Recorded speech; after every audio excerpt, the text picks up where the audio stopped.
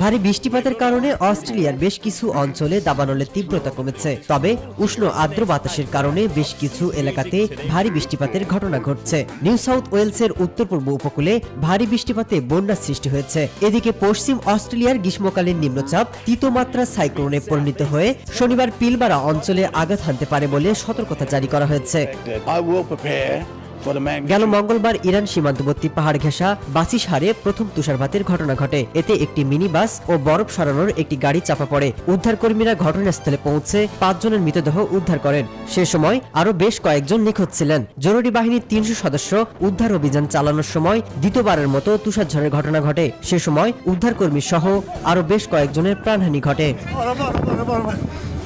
গেল মাস থেকে যুক্তরাষ্ট্রের টেক্সাস, লুইসিনা এবং আলাবামায় বেশ কয়েকটি ঝড় বয়ে গেছে। এরপরে বিচ্ছিন্নভাবে অনেক অঞ্চলে তুষারপাতের ঘটনা ঘটেছে। গেল দুই দিন যুক্তরাষ্ট্রের ওকলাহোমায় তুষারঝড়ে বিপর্যস্ত হয়ে পড়েছে স্বাভাবিক জীবনযাত্রা। টানা দ্বিতীয় দিনে বন্ধ ছিল শিক্ষা প্রতিষ্ঠান। বেশিরভাগ প্রধান সড়কগুলি তুষারপাতে ঢেকে যাওয়ায় যোগাযোগ ব্যবস্থা বন্ধ হয়ে গেছে।